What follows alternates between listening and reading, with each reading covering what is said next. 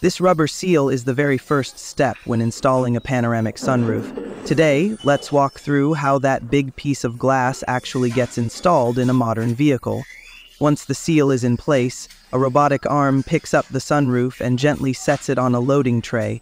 Then the machine moves it to the front of the car and slides it through a pre-cut opening near the windshield to get it inside the cabin. Next, the sunroof is lifted and carefully lined up with the opening in the roof. Four screws, two on each side, are used to hold it in position. Once those are in, the robotic arm pulls away. After that, the rest of the screws go in.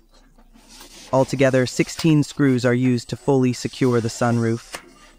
Some folks worry that a few might get skipped, but not here. Each worker only handles eight screws, so there is no chance of missing any. Once that is done, four drainage tubes get connected to carry away any rainwater.